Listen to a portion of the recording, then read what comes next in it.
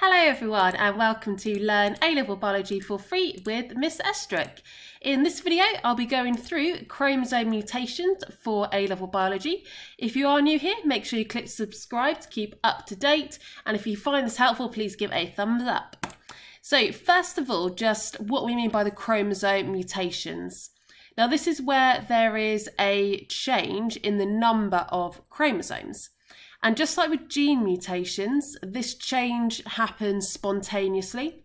Um, and it's by a process called non-disjunction in meiosis. So we'll go through what non-disjunction is. So this is when either the chromosomes in meiosis 1 do not separate equally, or the chromatids in meiosis 2 do not separate equally in anaphase.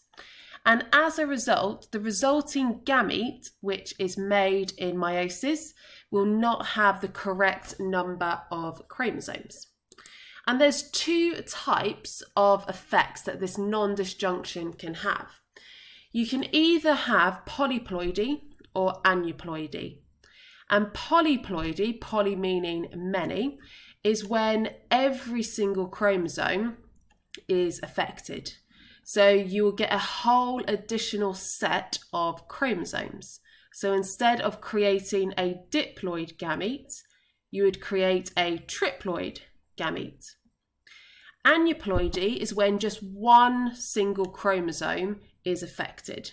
So you will still create a gamete which is haploid, but it might have one additional or one too few chromosomes.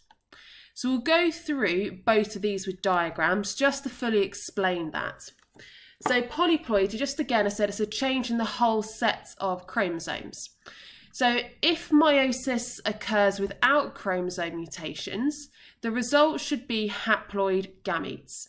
Now, I've labelled this as human gametes as haploid. However, I'm only actually showing three chromosomes there instead of 23, just because it wouldn't be able to fit 23 in. And when two human haploid gametes fuse, you end up with a diploid cell, meaning two copies of every chromosome. And that's what this 2N is referring to. And that's what a non-mutated human body cell or somatic cell should have. However, if polyploidy occurs, which is when there's a mutation resulting in an extra set of chromosomes, you could get triploid or tetraploid zygotes. Now, in humans, that would be fatal. So, if you did have that occurring, the zygote wouldn't successfully develop into a fetus. Uh, but you do see this quite commonly in plants. So, we'll go through how the non disjunction occurs to create a tetraploid or triploid. So, first of all, we'll just stick to three homologous chromosomes because I won't be able to fit 23 in a diagram. But you would have 23 homologous pairs in humans. And at this stage, we can see each pair is doubled. And that's because I'm starting from the point of DNA replication already occurring in interphase. So in this case, I'm going to show non-disjunction occurring in the first round of division, which we call meiosis 1. And all of the chromosomes fail to separate equally if it's polyploidy non-disjunction. So after meiosis 1, we now have all of the chromosomes in one cell, and this cell is empty of chromosomes. Now, meiosis 2, I'm going to say, happens normally, meaning that all of the chromatids do separate equally. Now, for this one, there were no chromosomes here, so we don't have any chromatids separating, and there's no chromosomes in either of those gametes. However, in this one, this cell had all of the chromosomes moving into it. Now, meiosis 2, there is normal division. So now all of these chromatids will separate equally to the opposite poles in anaphase. And that means the resulting gametes, we do see the chromatids have separated to these single chromosomes but we have two copies of every chromosome because there were both of the homologous pairs in this cell. So instead of creating the N or haploid gametes, we now have diploid gametes. So if we have a look then at what would happen if one of these diploid gametes fused or fertilized with a normal haploid gamete. So here's our mutated gamete, which is diploid.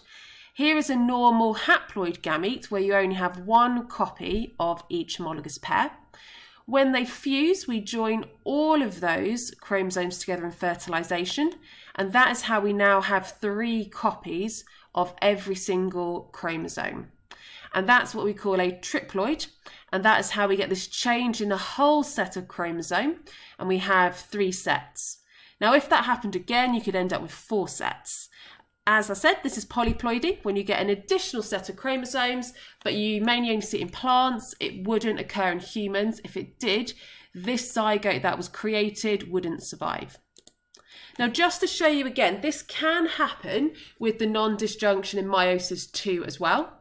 So we have this time normal division and all of the chromosomes separate equally in meiosis 1.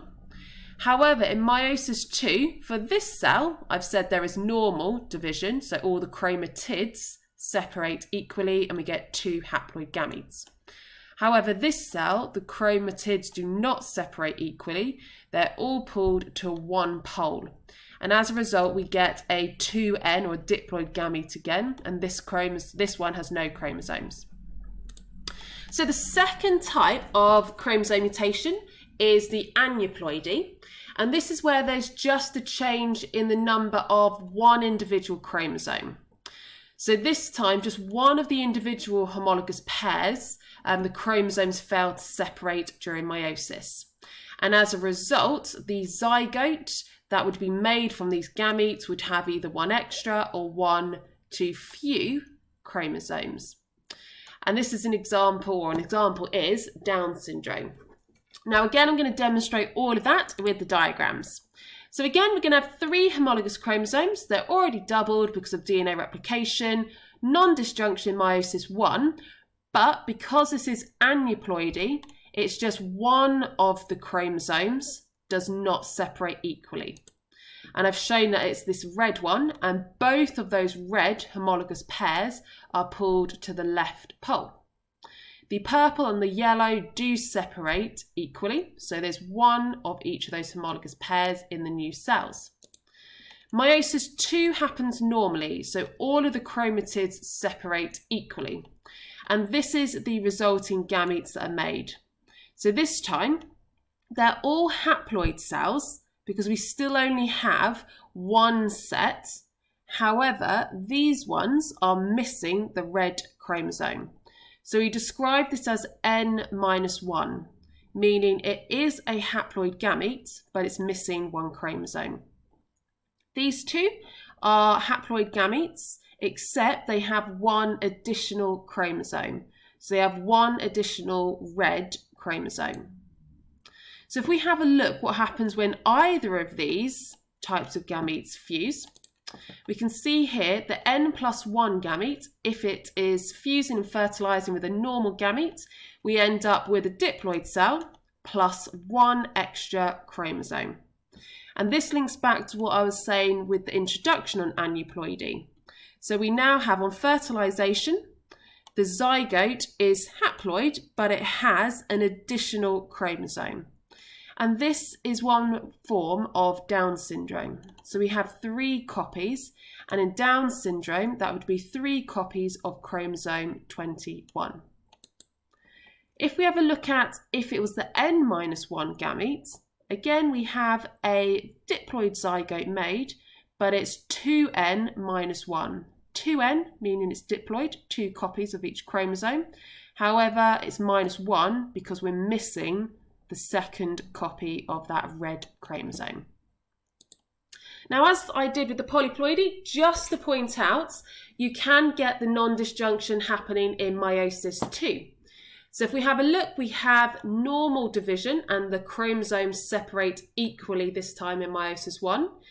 But in meiosis 2, I'm showing that in this one, all of the chromatids do separate equally and we get two haploid gametes. However, this is the cell where one of the chromatids fails to separate equally. and we end up with n minus 1 and n plus 1. So that is it for chromosome mutations. I hope that's helped you to understand aneuploidy and polyploidy.